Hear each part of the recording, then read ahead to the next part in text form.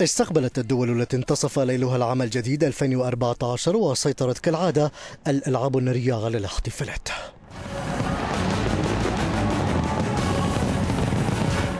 سيدني الأسترالية كانت أول مدينة في العالم تستقبل العام الميلادي الجديد بألعاب نارية ومؤثرات خاصة في احتفالات حضرها أكثر من مليون ونصف المليون شخص.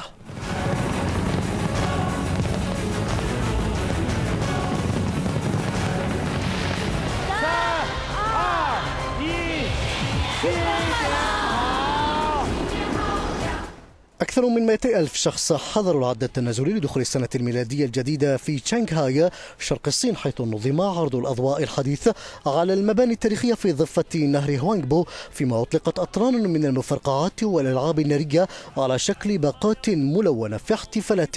لم تغب عنها الموسيقى والغناء.